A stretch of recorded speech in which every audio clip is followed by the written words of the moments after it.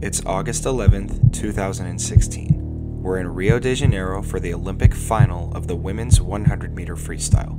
With less than 25 meters to go, this tightly contested field of eight swimmers is putting everything they have into these last few strokes with hopes of earning a medal. For some of these ladies, a medal is long overdue, and for others, it's only their first shot at winning one. In a race that often comes down to the slimmest of margins, there's no telling how these last few meters will unfold. One thing that's certain, however, is the legacies of these athletes will be affected as soon as the clock stops. To understand who these ladies are and what's on the line for them, we need to take a look back.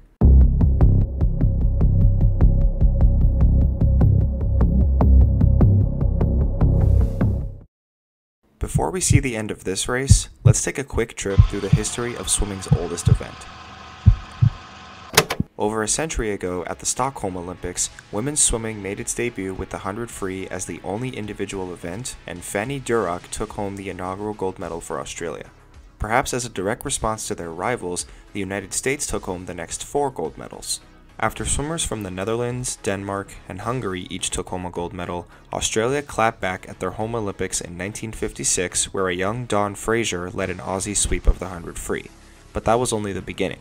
She successfully defended her Olympic gold medal at the 1960 and 64 games to secure swimming's first ever three-peat.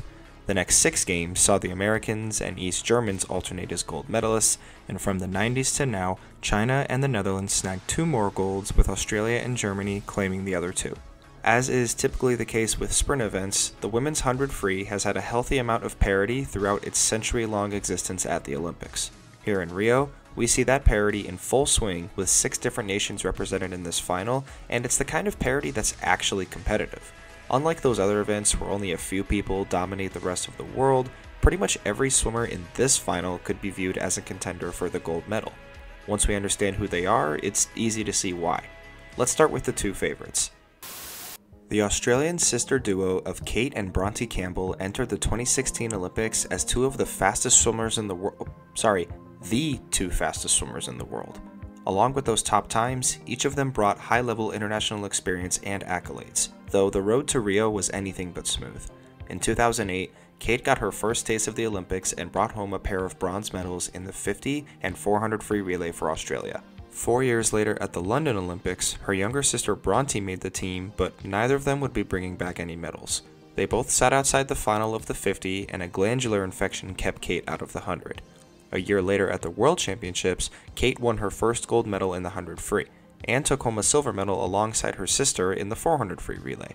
Two years later in Kazan, it was Bronte's turn to win gold in the 100, and Cate took home the bronze medal. Over the course of the last few years, Australia had a new sprint duo forming right before their eyes. The Campbell sisters routinely topped the world in the 100 free, and everyone expected them to make even more noise at the Rio Olympics. Cate, however, had other plans and put the world on notice earlier than expected. Just over a month prior, she broke the long standing world record in this event at the Australian Grand Prix. That's a pretty insane swim when you realize the next fastest person that year was half a second slower, and oh, look at that, it's also her sister. Fun. Jumping ahead to Rio, both Cate and Bronte made it through to the finals with ease, and everyone had their eyes set on them as the race began. The Campbell sisters got out ahead of the rest of the field pretty quickly and showed remarkable front half speed those first 25 meters. Over in lane 4, Cate opened up a pretty decent lead going into the first 50, flipping just over a tenth of a second under her own world record pace. Now at this point, you'd be foolish to call this race over, despite C1's pretty attractive lead. There are still six other gold medal caliber swimmers in this heat that have a real chance to chase down either Cate or Bronte this last lap. Among these swimmers are a few veterans who have been in this situation before and are long overdue for a gold medal moment of their own.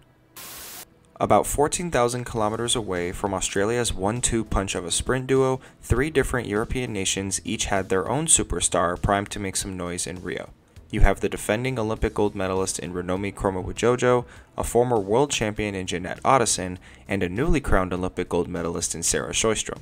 Like Cate and Bronte, these ladies had their own roads to Rio that often intertwined with each other.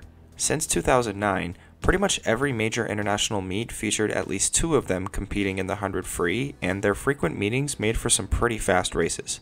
All of them had the makings of some of the most established sprinters of their generation and had the accolades to back it up. But how realistic are their gold medal chances in Rio against a powerhouse like the Campbell sisters?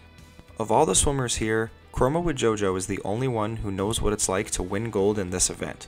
Four years ago in London, she obliterated the rest of the field in a new Olympic record time, so she can certainly hold her own against the world's top sprinters.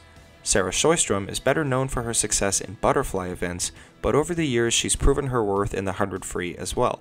A few months prior to this, she actually beat Kromowidjojo for the European title and entered the Rio Olympics as the third fastest performer in the world. Then there's Jeanette Ottesen, the Olympic journey woman for Denmark. While she hasn't replicated her World Championship success from 2011, she's not to be dismissed as a contender. She's been in this very final twice before, and that experience is sure to be of use in Rio. While she's outside the top 10 worldwide, she's only gotten faster and put herself in good position to potentially win gold.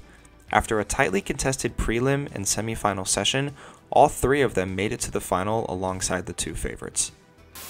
Cate and Bronte opened up that first 50 really fast, leaving our other contenders in a tough spot. They've got a lot of work to do to get back in this race, but they're certainly up for the task as we can see them start to close in on the Campbells.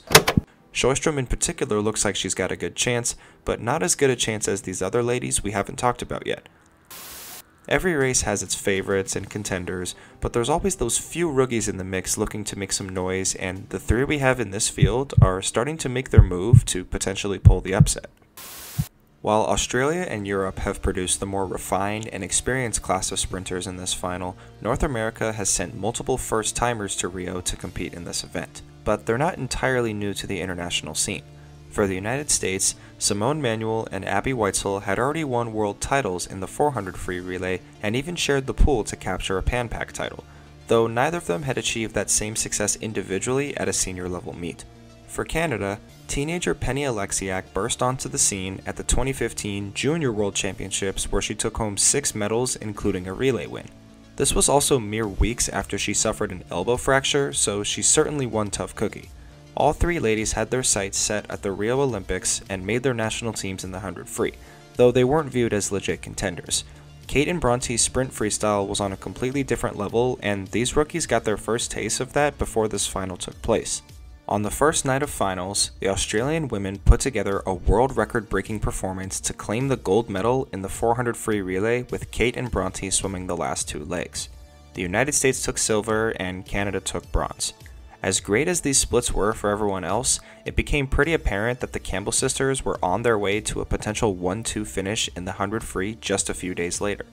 The prelims and semifinals came and went with all three of our rookies advancing to face arguably some of the greatest sprinters the sport has ever seen.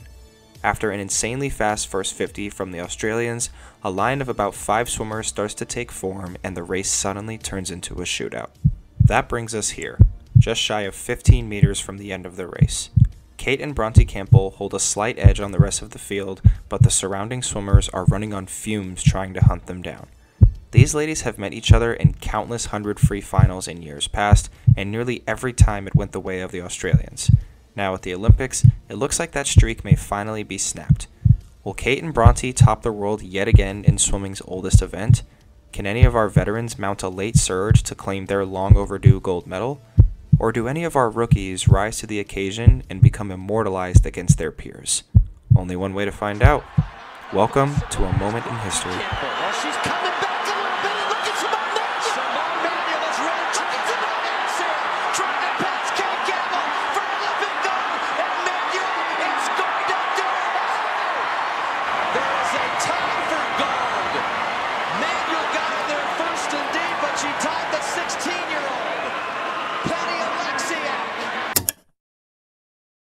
Hey, thanks for watching. If you made it this far, don't forget to give this video a like, and while you're down there, consider subscribing for more content like this. If you enjoyed this look back, I've got a whole playlist of other races I've looked back at. If you'd like to watch some current day swimming, check out this video right over here. Until next time, good night, and good swim bro.